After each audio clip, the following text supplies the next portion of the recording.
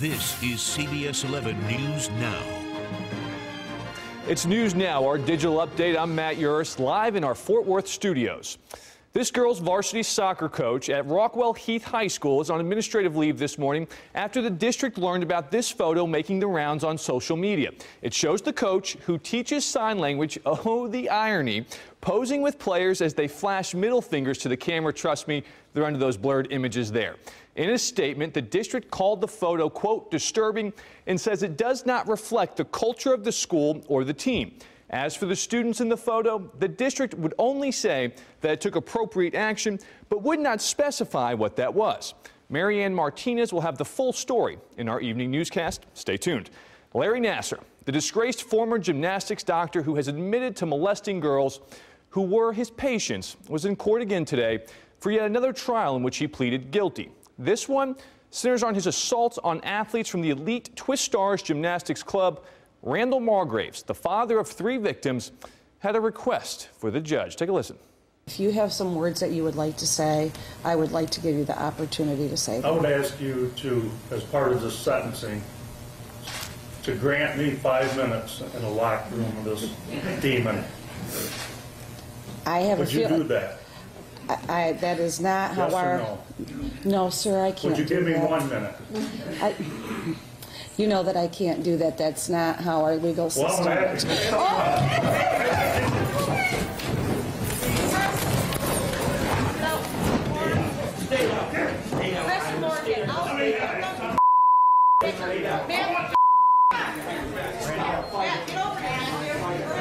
I want that son of Give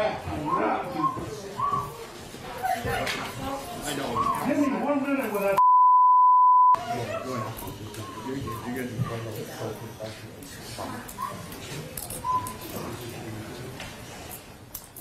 Later this morning, the judge announced that she will not punish Margraves for his run at Nassar.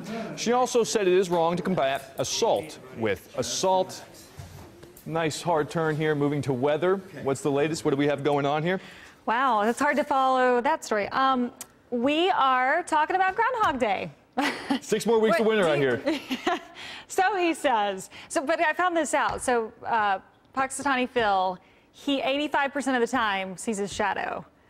So, but he's usually wrong. He's 180 million years old, so let's give him a break. I know okay? the dude. He really is. He's over 100 years old. Did you know that? I, I knew this, and the only reason I knew this was yesterday we did a little historical report on Punxsutawney Phil. Yes. Uh, started in 1887. Of the Look 130, it's the 132nd anniversary of it. 109 or so of them, he has uh, seen his shadow. That means six more weeks of winter. Um, no, I got that a little bit wrong. I'm missing these. Anyway, 10 were not reported. Almost all of them, they didn't. He saw his shadow. We're getting more winter, and then there was a select few where he had good news for those who don't like winter. Right, right. So I, I, after years in the Midwest, and you've been up in the Northeast, um, especially those winters, I was just dying to, to have him not see his shadow. not that as a meteorologist I really put too much stock in it, but it's still fun. I don't get why Uh, back in 1887 they didn't move the date to say March 1. I mean, January. We don't need shadows. You know, we- we got the deal. I guess they just want, you know, February. It's like, how much longer of this do we have? By March, you're at least hopeful. You know, you're you're moving past it. You know what? You've convinced me. I was actually talking to my 92-year-old grandfather last What's night, that? longtime New Yorker. Yeah? And he was excited about February because he felt like the worst of the winter was behind him. Right. Which I completely disagree. I'm sure he'll get a foot of snow I in a know. week.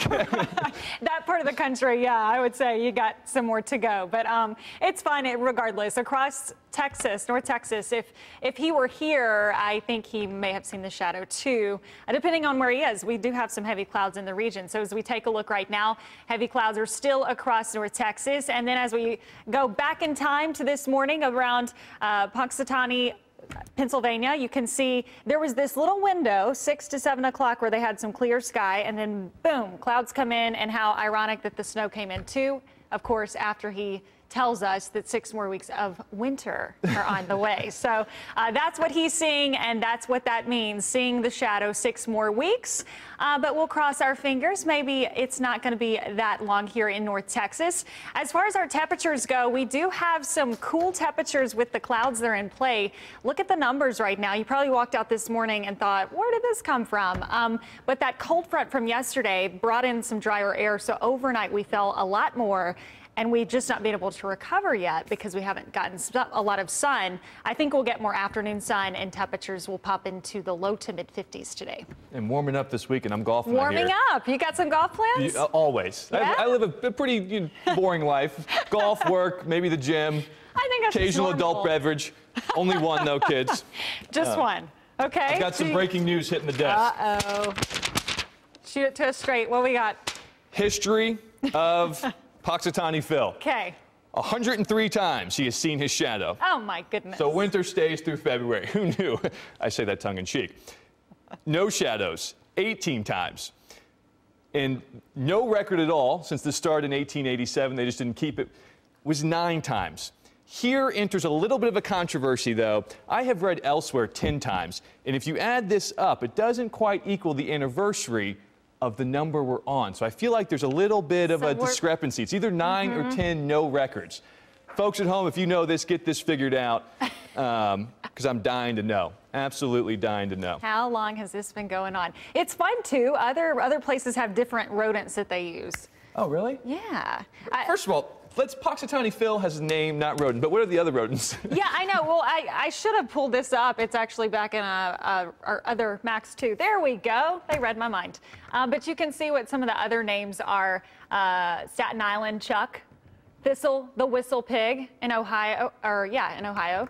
Um, and I know that I was actually talking to Dallas, the Dallas Zoo the other day, and I was I was asking, do you guys have a, a, groundhog or do you do anything with this day? They said that before the groundhog, there was actually the use of a hedgehog here, and they do have some hedgehogs. Wow, okay. So if you're headed out to the zoo this weekend, take a look at the hedgehog. Uh, was one, the one. One more quick story because I see New, oh, they just took the graphic down. I saw New York on the list. Uh huh. We were just uh, reminiscing with some of our colleagues in New York at the CBS New York local station up there, and they were telling us that in 2013 or 2014 on Groundhog Day, the mayor held up the groundhog and dropped the groundhog. No. Yes. Oh, no. The groundhog was returned oh. to the petting zoo where it was oh, no. receiving some special love and poor guy died. No. Yeah, I got to the. I really. Matt, wait to really put I a damper on this I went day. there pretty quick.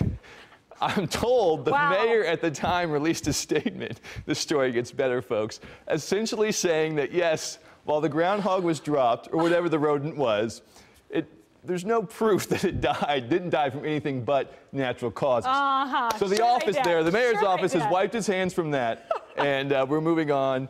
And have a great weekend. oh my gosh, I'm laughing and I'm crying. I don't know what to do with yeah, this story. Uh, wow, that's a that's a sad one. I well, we good here? I got to make one last here. hard turn here before we split. Go ahead. These are really tough. one last note. The controversial House, House intelligence memo dealing with the FBI and DOJ surveillance practices has been released. We will have more on that in the evening's newscast. Stay tuned. Thanks for watching CBS 11, the ones for Texas. For the latest updates, head to CBSDFW.com. This has been CBS 11 News Now. Be sure to follow us on Facebook and Twitter for the latest local news and weather.